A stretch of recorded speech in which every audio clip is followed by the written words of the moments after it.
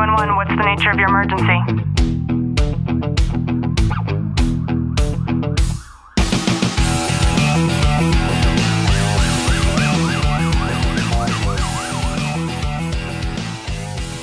Welcome back to another episode of Tactical Living by Leo Warriors. I'm your host, Ashlie Walton. And I'm your co host, Clint Walton. For today's episode, we're going to talk about why having a mentor does not make you weak, and how I believe it's one of the only ways that you can allow yourself to be pushed. So just sit back, relax, and enjoy today's content. Baby, help me reflect a little bit on this time last year, where we were at, and how our stubbornness really prevented us from doing anything that we could excel in. It goes into a lot for me and you both is we have this mindset that we created for ourselves of I can't do that because of and we're just giving ourselves excuses of why we can't do something instead of finding routes of actually doing it. That goes down especially to my weight loss journey where I've now lost over 75 pounds. I'm probably in the best shape I've been in in my entire life. And I feel closer to you than I ever have. It's crazy for me because I'm incredibly analytical. I can sit and I can read for an entire weekend, no problem. But I got to this point to where there were things that I allowed myself to dive into that a simple YouTube or Google search just wasn't cutting it with. Let's use this podcast, for example. I had no idea how to start a podcast. You can Google it. There's this podcastacademy.com. There's all kinds of resources out there on how to do it. I haven't found anything that takes you from the mentality essence of it, including the tactical elements that are required to even produce your first episode. I got to the point to where I didn't even know if this was something that I wanted to dive into at all. I started to tell myself all the stories. It was going to be too difficult. It required too much equipment. I've never had to edit any kind of audio in my life. I'm a singer.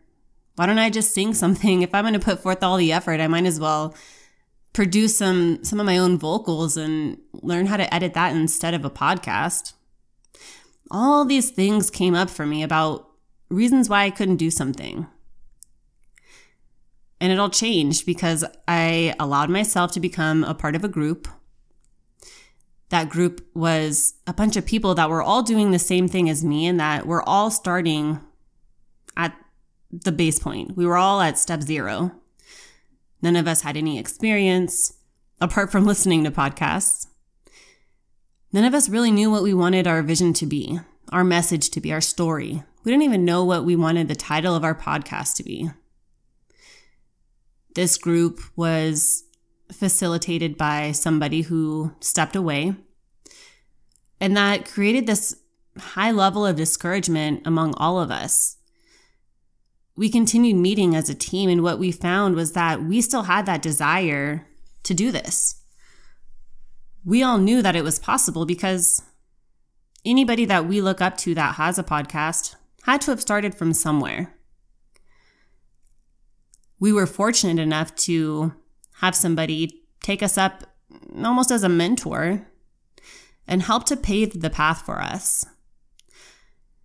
He helped to create the structure for this podcast. He helped to delegate and tell us all what to do. And most importantly, he showed us how to do it. Hopped on Zoom calls, endless Facebook messages back and forth, group chats and the WhatsApp. Like we had a, a completely inclusive form of conversation that was open to where we can all learn from the questions that we each had. And I didn't even know how to edit my own podcast. I didn't know how to put my own intro into my podcast. It didn't take long for us to figure out how to record. But recording is the easy part. It's everything that goes into the back end of it that really scared the shit out of me. I don't want to put something incorrect.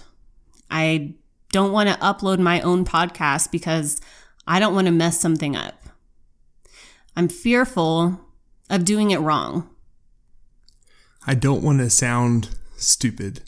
I don't want to make myself or anyone else feel belittled in any way.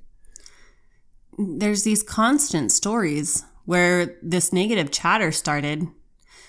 And that didn't stop until I was able to find somebody to mentor me to get my headspace right. To say, Ashlie, like, this is super simple. You can do it. You're not alone. I'm going to help you.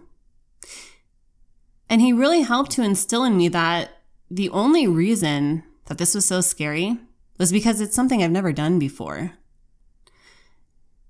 By taking a step back and understanding that everybody starts somewhere and knowing that, okay, well, if all these other people can do it, I sure as hell have a high enough, high enough level of intellect to be able to figure out how to do this too.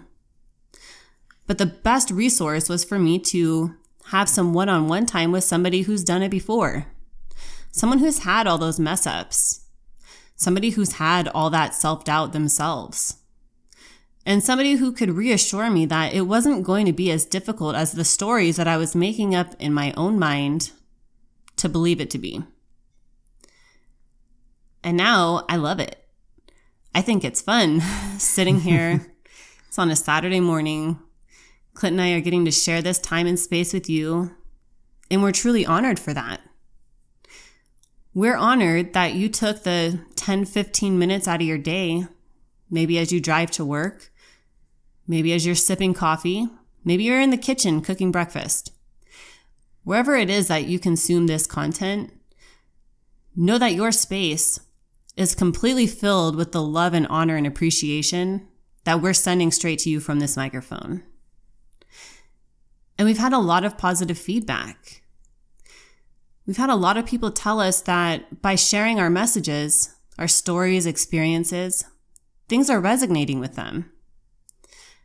And that resignation and those voices back to us from the other end of the microphone are what gets us excited to keep doing this. And if it wasn't for that mentor, if it wasn't for somebody to not only kick me in the ass, but to kind of push me forward a little bit and to reach their hand down while I was looking up in knowing that I'm not doing this by myself. I don't have to just rely on this dark end of technology every time I Google something. Like there's an actual living body that could help me, somebody with positive influence, then it made it all okay and it made it all comfortable. And we're allowed to share this platform now and experience something completely new just based on getting over yourself. Like getting over myself was really what I had to do. It's one thing when you're going through scholastic studies. And I think that's what I was so used to was being reliant on myself and knowing that nobody else was there to help me and supporting me through my journey of my formal education. I'm sure that's where a lot of it stems from but in allowing myself to understand that I don't have all the answers and I don't have to be the one to dig through all of the answers on my own. And then recognizing that a significant amount of those answers that I was seeking weren't readily available through a Google search. I needed that human connection to be able to guide me. I needed something real. I needed something more than just technology in order to help me through something I was struggling with. And maybe as you sit there, you can think of something in your own life that you really need that support in order to accomplish. Maybe it's something like starting a new hobby. Do you know anybody who's done that hobby before? Maybe you want to build something is there anyone you can reach out to who you've never talked to before, but that you've been paying attention to, who's done that already. What would life look like for you if you connected with that person and you were able to reach out and let them know that you needed help? The worst thing that can happen, I think, is they might charge you a little bit of money. For the most part, anybody that I continue to reach out for to ask simple questions that I receive answers to that allow me to take those first steps, people don't charge for that. People love to, to help other people. I would encourage you to just reach out. Try it. Try something new. Because an incredible thing happens when you open yourself up with such vulnerability. And the gifts that you receive on the back end from that are the excitement that other people have in you sharing a similar interest to them. And when you're able to lean into that, and you're able to allow yourself to finally do something that you've always thought maybe one day you'll try, then you're able to understand that that one day could be now. And that excitement, that newfound experience, all those thoughts that start fluttering through your mind of the what ifs, what could be, are what starts to allow you to be excited to do something new every day. And when you're excited for that newness and you're excited to give something back and create something new and to show your uniqueness and express yourself in a way that you always wished that you could, then you're really able to enjoy your tactical living.